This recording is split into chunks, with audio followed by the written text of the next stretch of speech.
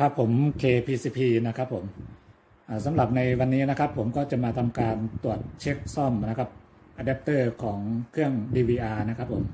ของกล้องวงจรปิดนะครับผม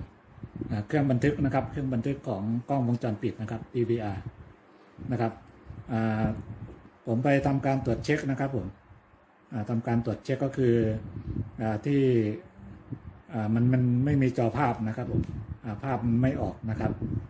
ภาพไม่ออก มาทำการตรวจเช็คซ่อมลองดูนะครับผมตัวนี้มันใช้อ่าก็ 220 โวลต์ AC ของเราปกตินะครับ แล้วก็ output ออก 12 โวลต์ output ออก 12 โวลต์ 2 แอมป์นะครับผม 12 โวลต์ 2 แอมป์ แต่ค่าโวลต์มันได้ปกตินะครับผม ค่าโวลต์ได้ปกติ ผมก็จะทำการเสียบปลั๊กลองดูนะครับ แล้วก็เราวัดโวลต์ลองดูนะครับผมทำการเสียบปลั๊กนะครับ แล้วก็ผมก็ตั้งย่าน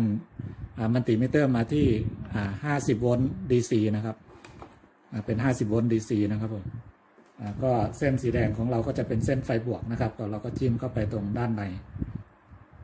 นะครับของขั้วของอะแดปเตอร์นะครับผมแล้วก็ตรงขั้วลบเราก็มาแตะนะครับแตะตรงด้านข้างอันนี้นะครับผมอันนี้นะครับ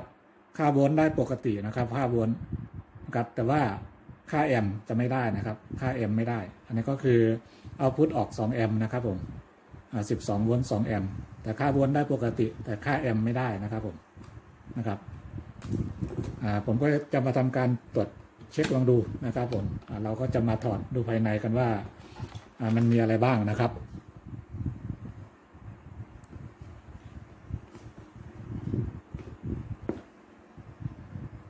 อันนี้ก็จะใช้ไขควงที่ เล็กหน่อยนะครับผมอันนี้แบบอะสนิทมากนะครับ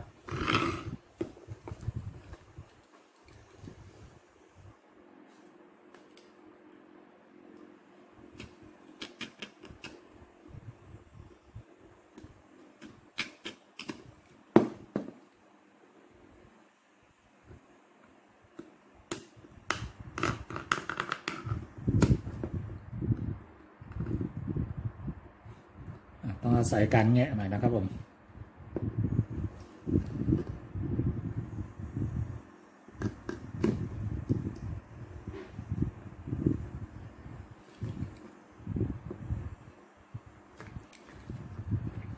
อะแดปเตอร์บางตัวบางรุ่นก็แงะง่ายนะครับ อันนี้ก็ลักษณะว่าแน่นหนามากเลยนะครับผม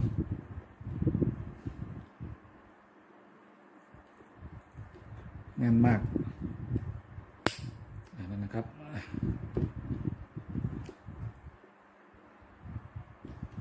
อะต้อง ใช้ไขควงปากแบนสองตัวนะครับผม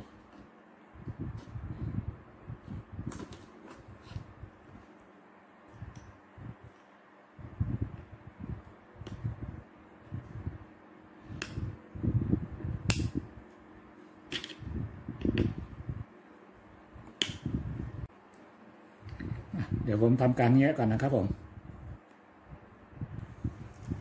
ในผมก็ทำการ แงะออกเรียบร้อยแล้วนะครับ ผมแน่นหนามากแน่นหนามากเลยนะครับ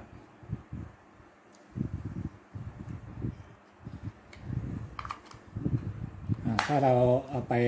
ทำการประกอบคืนอ่าเราก็ต้องอาศัยกาวร้อนนะครับ ผม อาศัยกาวร้อนมาหยอดนิดนึงนะครับผมนะครับถ้าเราประกอบคืนก็ต้องอาศัยกาว ดูภายในนะครับผม ดูภายในโดยส่วนมากนะครับ เพื่อนๆครับผมโดยส่วนมากก็คือส่วนมากอันนี้ก็คือค่าค่าโวลต์ได้ปกตินะครับ ค่าโวลต์ได้ปกติ แต่ค่าแอมไม่ได้ อันนี้นะครับเพื่อนๆครับเพื่อนๆลองสังเกตดูนะครับผม อันนี้นะครับที่ผมสังเกตดูก็คือจะมีตัว C อยู่ตัวหนึ่งนี่นะครับนะครับ ปกติก็คือ C อตัวคาปาซิเตอร์ของเรานะครับต้องต้องแบนเรียบนะครับผมแบนเรียบ แต่ว่าตัว C ตัวนี้นะครับตัวตัวคาปาตัวนี้นะครับอาจจะเป็นลักษณะการนูนเหมือนหลังเต่านะครับผมลักษณะการนูนเหมือนหลังเต่านะครับ ก็แปลว่าน่าจะเป็นที่ตัวนี้นะครับผมน่าจะเป็นที่ตัวนี้ เพราะว่า กระแสไฟก็คือออกปกตินะครับผมออก 12 โวลต์ปกตินะครับ แต่ว่าค่าแอมไม่ได้เฉยๆนะครับผมอ่าผมก็คิดว่าน่าจะเป็นที่ตัวนี้นะครับ ตัวคาปาตัวนี้นะครับ ที่นูนเหมือนหลังเต่าตัวนี้นะครับ เราก็จะทำการถอดเปลี่ยนนะครับ ตัวนี้ลองดูนะครับผมครับ เดี๋ยวเรามาทำการถอดดูกันนะครับผม ว่าตัวคาปาซิเตอร์นี้มีค่ากี่โวลต์นะครับผม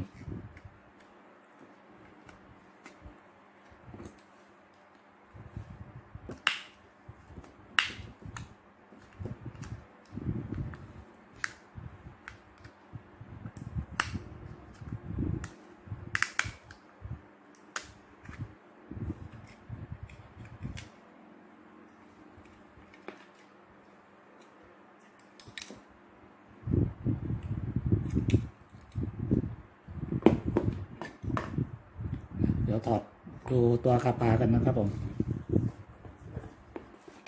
โดยใช้หัวแรงนะครับ จี้ไปแล้วก็ดึง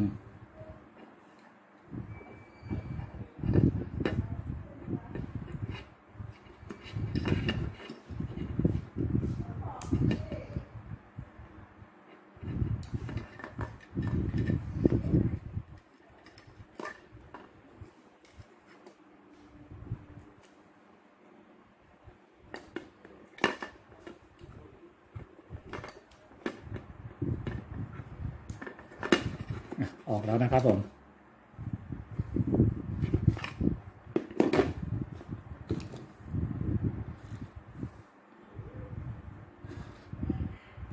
อ่านี่นะครับผมค่าโวลต์และค่าไมโครฟารัดนะครับผม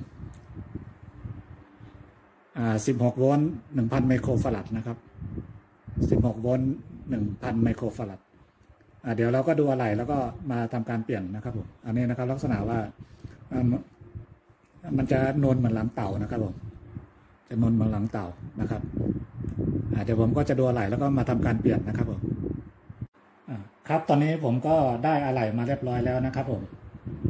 นะครับ ของตัวเดิมก็คือ 16 โวลต์ 1,000 ไมโครฟารัดนะครับ อันนี้นะครับตัวใหม่นะครับ 16 โวลต์ 1,000 ไมโครฟารัดนะครับผม อันนี้ผมซื้อมาก็ตัวละ 5 บาทนะครับผม ตัวละ 5 บาทนะครับ ถ้าเราไปซื้อใหม่ถ้าเป็นอะแดปเตอร์ของเครื่อง DVR นะครับผม ก็ตั้งแต่ราคา 180 บาท ถึง 200 กว่าบาท 250 แล้วแต่รุ่นแล้วแต่ยี่ห้อนะครับผมถ้าเราไปซื้อใหม่นะครับ อันนี้เราก็ตรวจเช็คซ่อมตามอาการนะครับผม ก็คืออาการของมันคือเราก็ใช้อย่างที่ผมบอกก็คืออเราใช้มัลติมิเตอร์นะครับทำการวัดดูว่าค่าโวลต์ที่ออกอยังมีโวลต์ออกหรือไม่นะครับผม ถ้าเราเสียบปลั๊กแล้วก็ลองวัดโวลต์เหมือนที่ผมพาวัดนะครับ ถ้าโวลต์ออกปกตินะครับ ผมก็แปลว่ามันก็เป็นที่ค่าแอมป์นะครับผมค่าแอมป์ไม่ได้ โดยส่วนมากก็คือค่าแอมป์ไม่ได้ก็คือต้องมีชุดคาปานะครับผมสองสามสี่ตัวนะครับ ก็คือต้องมีตัวใดตัวหนึ่งเสื่อมนะครับผมเสื่อมสภาพ ถ้าเสื่อมสภาพก็คือลักษณะเหมือนหลังนนเหมือนหลังเต่าในลักษณะนี้ครับผมเราก็ทำการเปลี่ยนแล้วก็ใช้ได้ปกตินะครับผม โดยที่เราไม่ต้องไปเสียตังค์ซื้อตัวใหม่นะครับ อาจจะเป็นแบบที่ใช้เป็นอะแดปเตอร์ของกล้องก็ดีนะครับผมอันนี้แต่ว่าตัวนี้ก็คือเป็นอะแดปเตอร์ของตัว DVR นะครับเครื่องบันทึกนะครับผมผมก็จะทำการเปลี่ยนเข้าไปนะครับตัวที่เป็นลายๆขาวๆนะครับ ผมก็คือขั้วลบนะครับ ด้านในนะครับฝั่งขั้วลบก็คือที่เป็นขีดขาวๆเส้นขาวๆนะครับผม แล้วก็ถ้าเป็นตัวของอตัวคาปาเนี่ยนะครับขั้วลบอก็จะเป็นแถบสีขาวนะครับผมเป็นแถบสีขาวที่เป็นน้ำน้ำเงินล้วนนี่ก็คือเป็นขั้วบวกนะครับนี่ก็คือขั้วลบอถ้าในแผงวงจรก็ที่เป็นเส้นขาวๆขีดก็คือเป็นขั้วลบนะครับผมเราก็ใส่ให้ถูกขั้วนะครับใส่เข้าไปแล้วก็ทำการบัดกรีตะกั่วได้เลยนะครับผม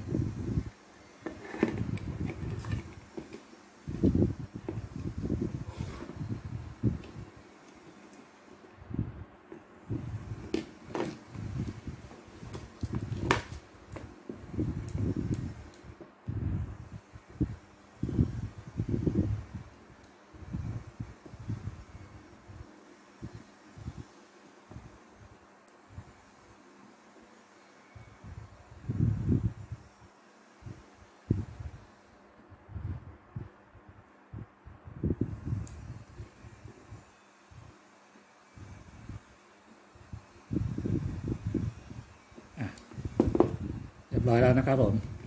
อันนี้ผมก็ได้ทำการบตเตรีตะกั่วเข้าเรียบร้อยแล้วนะครับตัวนี้นะครับยาวไปเราก็ทำการตัดนะครับผมอ่าทำการตัด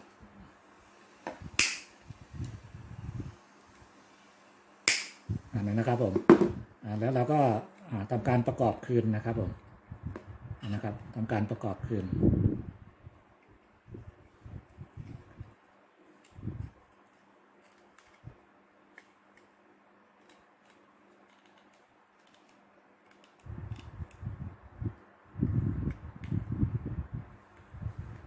ก็น่าจะใช้ได้ครับผมโดยส่วนมากนะครับ เพราะว่าค่า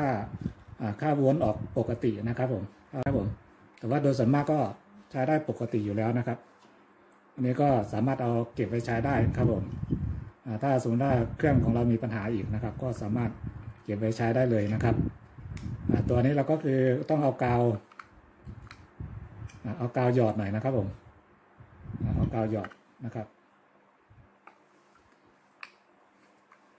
ก็จะประกบในลักษณะนี้แล้วก็ใช้ใช้กาวร้อนนะครับผม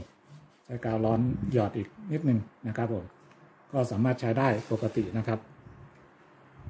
ผมทำการวัดวนดูอีกทีหนึ่งนะครับ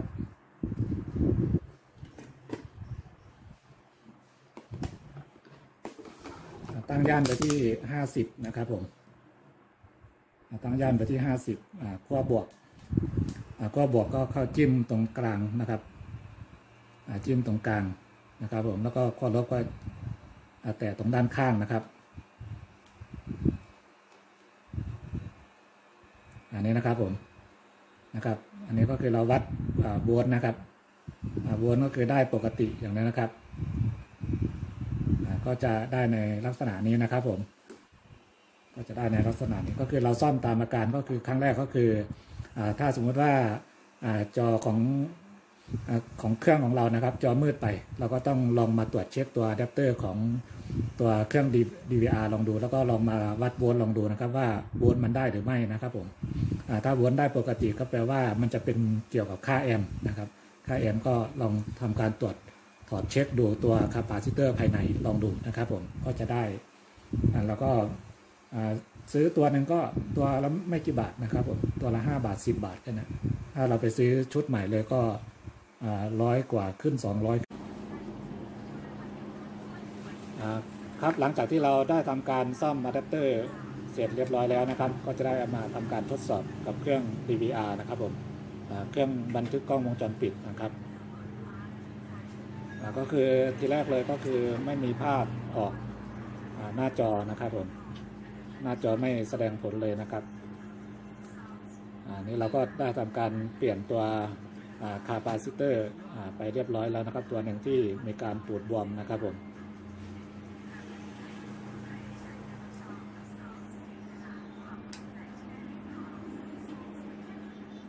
อันนี้เป็นชุดที่ใช้อยู่กับโกดังนะครับ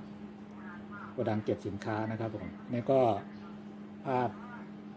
แสดงหน้าจอนะครับผม ก็ออกมาเรียบร้อยแล้วนะครับ อันนี้นะครับถ้าเพื่อนๆเจอในลักษณะอาการนี้นะครับ ก็คือ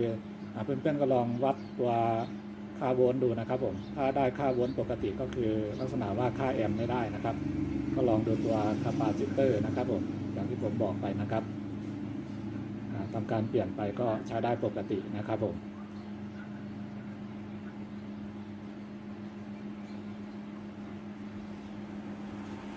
นะครับ ก็ได้ปกติแล้วนะครับสำหรับในคลิปนี้นะครับผม KPCP ก็หวังว่าจะเป็นประโยชน์กับเพื่อนๆทุกท่านนะครับผมสำหรับในคลิปนี้ก็ต้องขอลาไปก่อนนะครับไปไหนน่ะสวัสดีครับผม ยังเลยเอานอน